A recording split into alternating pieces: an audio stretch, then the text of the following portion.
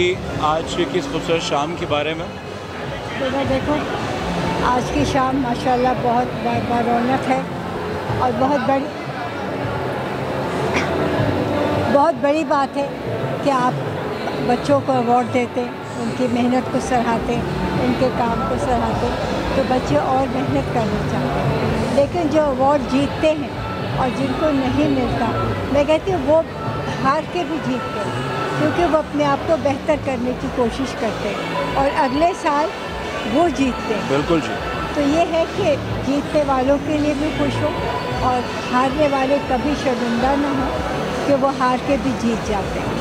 और सितारों का ये कि लोग सितारे सितारे कहते तो रात भर सितारे चमकते लेकिन वो सुबह छुप जाते हमारे सितारे अल्लाह करे चमकते रहें दमकते रहें।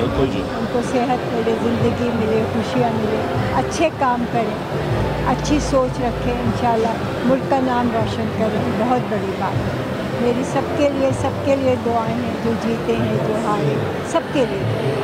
बहुत अच्छा लगता है मेहनत को सराहना। और माशाल्लाह एक फ़ंक्शन ऐसा होता है जिसको रौनक ठीक है आप।